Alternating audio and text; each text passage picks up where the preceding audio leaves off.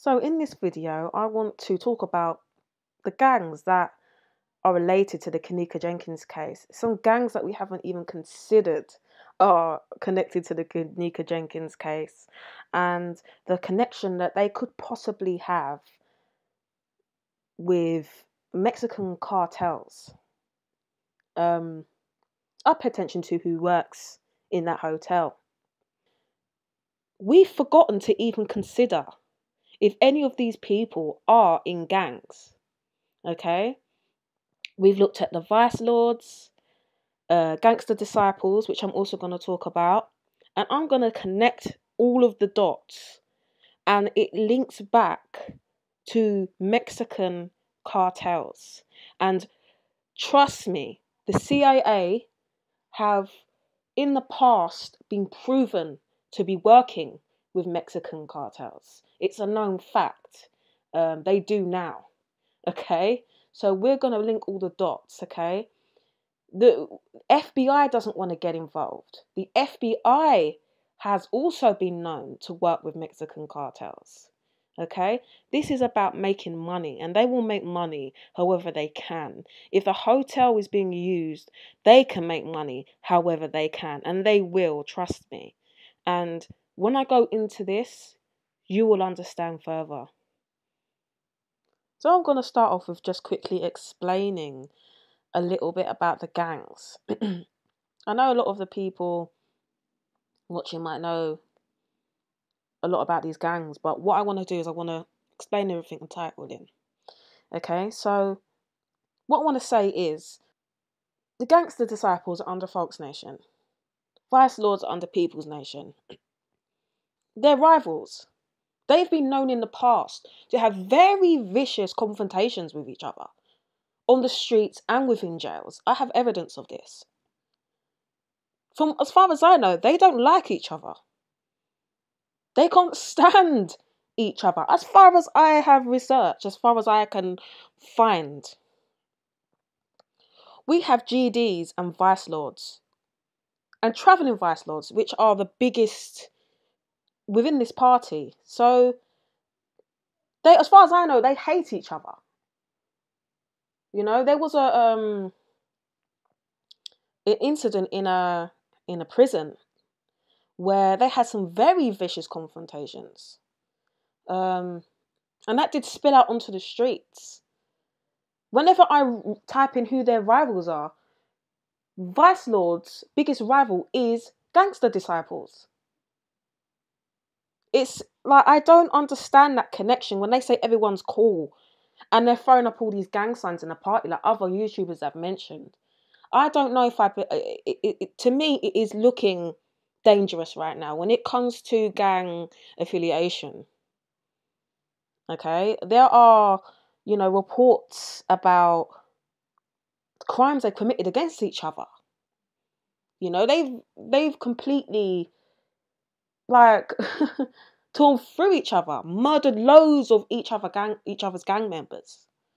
So that isn't running with me right now.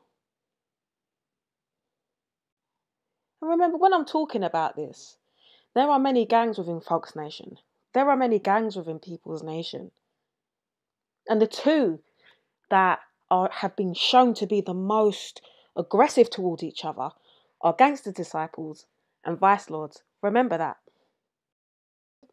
within People's Nation, you have the Latin kings, and you also have Spanish vice lords.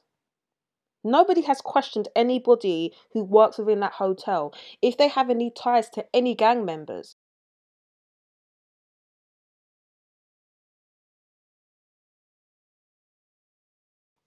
Now, when I was doing my research about vice lords, I then come across a story of a vice lord from the west side of Chicago, which where a lot of these party members came from.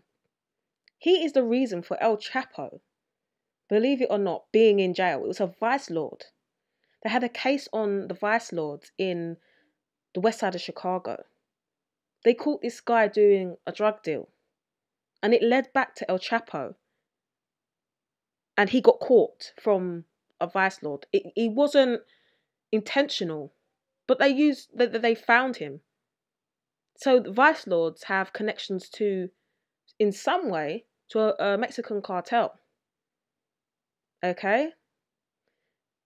Latin kings have been known to have transactions with the Mexican cartels.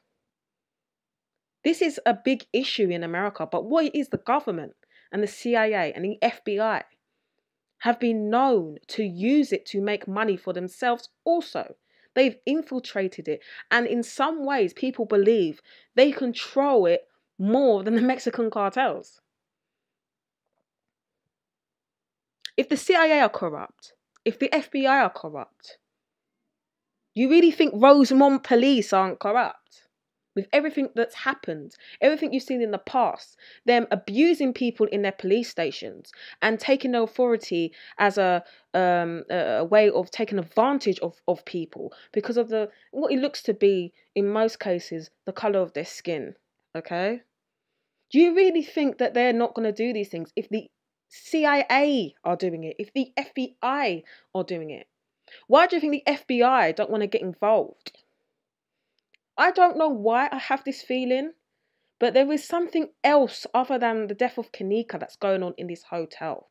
And it's known by the Vice Lords, it's known by the gangster disciples that, by the way, hate each other. Okay, they hate each other in two different affiliates with two different sets of people. Okay, the Vice Lords link back to El Chapo. Most of the people that work in this hotel are either of some type of Spanish Latino descent. And you're telling me not one of them has links with any uh, um, Spanish vice lords or Latin kings. To me, I don't think so. And that security guard leaving after four days after being questioned. Okay, yeah, you heard how he spoke. That's why I put that um, recording up of him speaking. I wasn't saying he was saying anything. I just wanted you to hear. And to me, he sounds streetwise.